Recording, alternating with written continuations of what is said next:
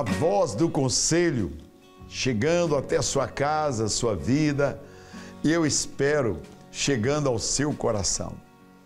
A Voz do Conselho é um programa para que nós é, agreguemos mais pastores e valores para o ministério pastoral. Que legal! Tivemos agora, há poucos dias, um grande congresso e foi maravilhoso. O Estevam Hernandes Dias Lopes, tivemos também Paulo Mazzoni, o pastor Toninho, tivemos o pastor Ismael, Wesley Charles, uma equipe maravilhosa do que aconteceu em nossa sede campestre. Você pode participar do próximo. O próximo vai ser um encontro para filhos de pastores, filhos de líderes. Você já pode é, procurar no site do Conselho de Pastores e já se inscrever. Foi muito bom. O tema foi honra, aprendendo a honrar para ser honrado. Foi muito bom.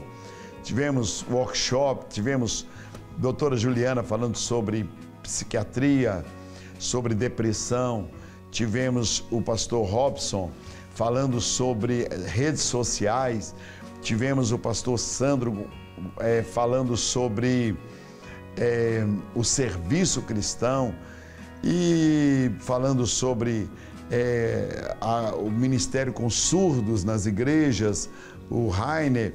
Então vale a pena você participar do próximo, tá? Conselho de Pastores.com.br Conselho de Pastores do Estado de Minas Gerais, você fica sabendo de todos os eventos que nós vamos ter ainda neste ano para municiar, para equipar os pastores e os líderes e as suas famílias, tá bom? A nossa reunião acontece sempre na última terça-feira do mês, é, às 8h30 da manhã, com um café. E assim nós temos sempre uma palavra estamos em ano de eleições, então precisamos é, tomar consciência da responsabilidade que cada um tem com a sua pátria, com a sua cidade, com o seu estado. E assim nós vamos estar sempre nos aprimorando. Venha participar, reúna um grupo de pastores e líderes da sua cidade. Se aí não existe um conselho de pastores, nós iremos ajudá-lo a é, organizar este conselho de pastores. Então vai ser muito legal, última terça-feira do mês. Quem vai estar trazendo a palavra é o pastor Márcio, é, que é o presidente da Convenção Batista é, Brasileira, e vai ser muito legal. Você é meu convidado para estar aqui. Hoje eu queria falar um pouquinho com você sobre tentação. Não é fácil esta palavra tentação ah, em nossas vidas.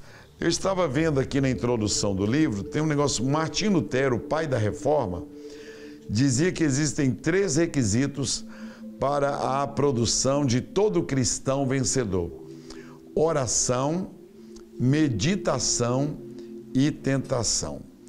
Certa vez perguntaram a Lutero qual era o segredo do seu ministério.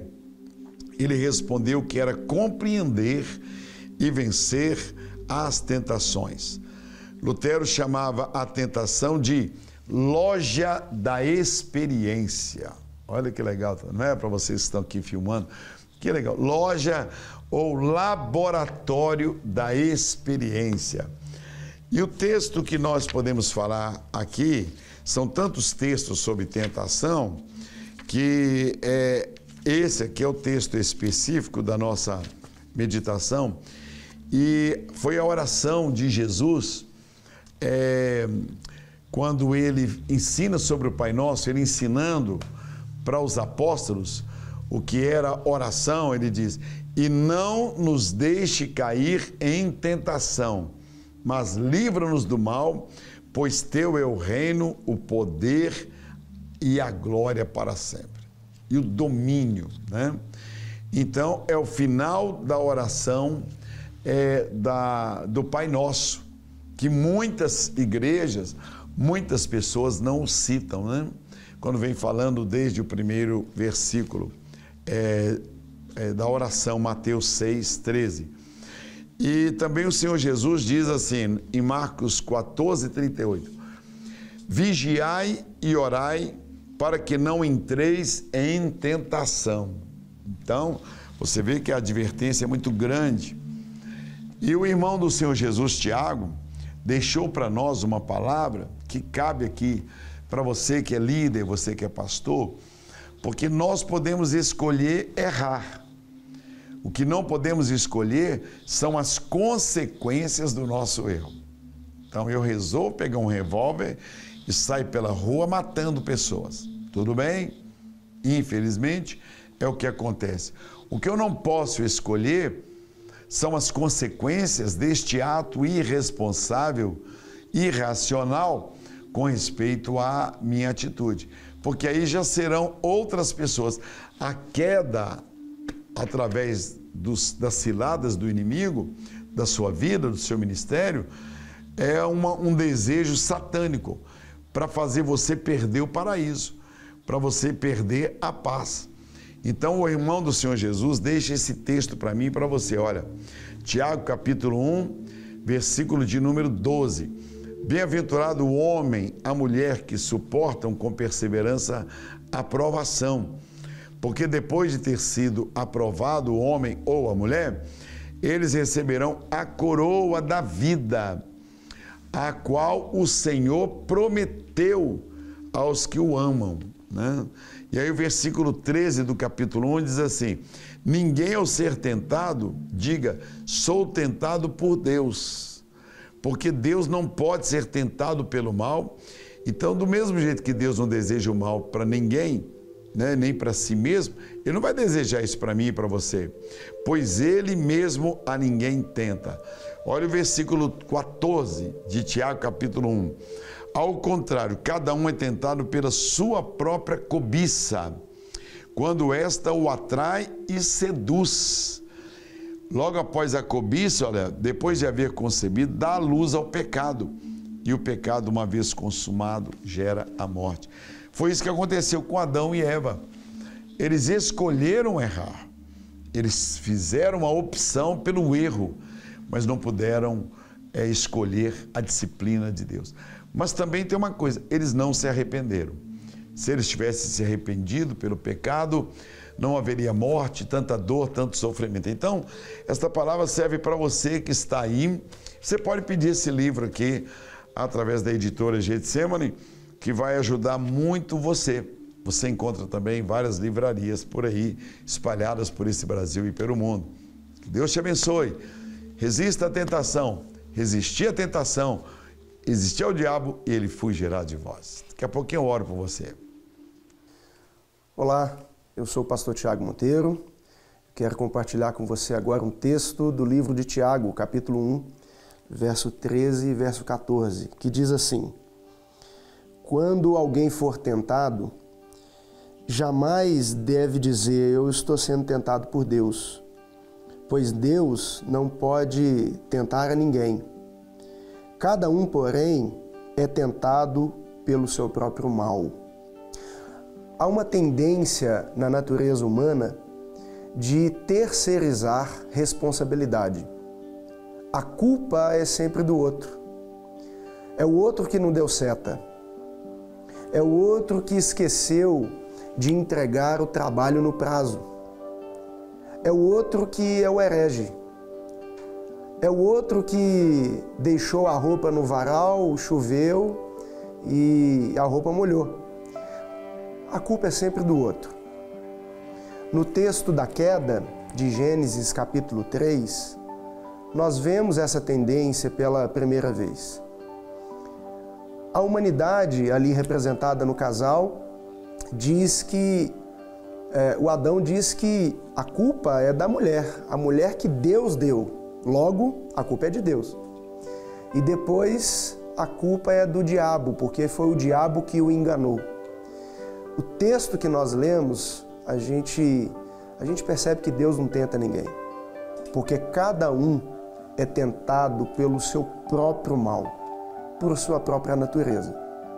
Porém, os filhos de Deus, eles não são guiados pelo Adão do Gênesis 3.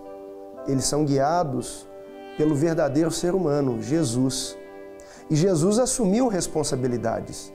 Enquanto nós atribuímos ao outro, terceirizamos aquilo que é nosso, as nossas responsabilidades, terceirizamos e imputamos ao outro, Jesus assumiu responsabilidades. Então, os seus discípulos que devem segui-lo, tomar o teu testemunho, tomar o teu exemplo, tomar a tua cruz e segui-lo, nós também temos que aprender a assumir as nossas broncas, assumir nossas responsabilidades.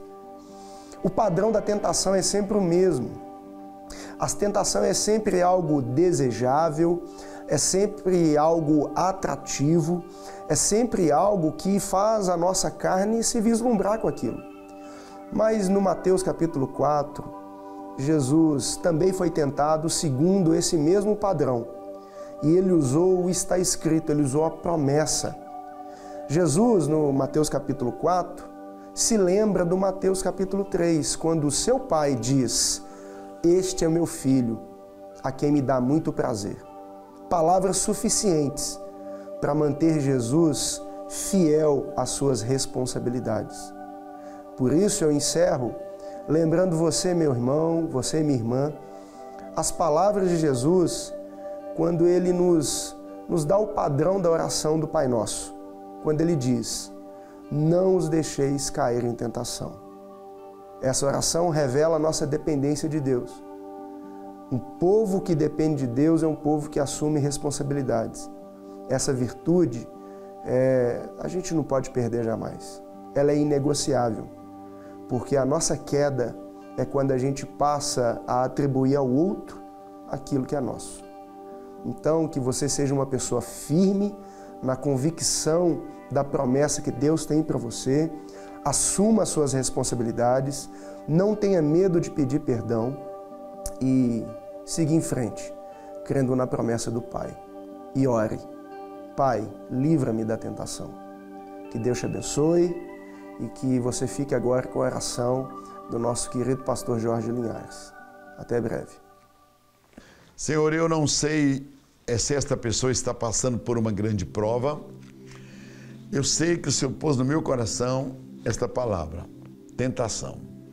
Quantas pessoas têm sido derrubadas, quantas famílias destruídas, quantas empresas, quantos ministérios, quantos líderes em todo o mundo e quantas histórias bíblicas preventivas para que não caiamos em tentação.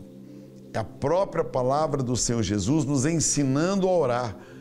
Livra-nos do mal, livra-nos da tentação. Não nos deixes cair em tentação. Você vê, ó Deus, que não é, ó Pai, subir na tentação, mas cair. Livra esta pessoa eu te abençoo, servo de Deus. Você que foi tentado, que está sendo tentado, que a vitória de Deus venha para a sua vida hoje e sempre, em nome do Senhor Jesus.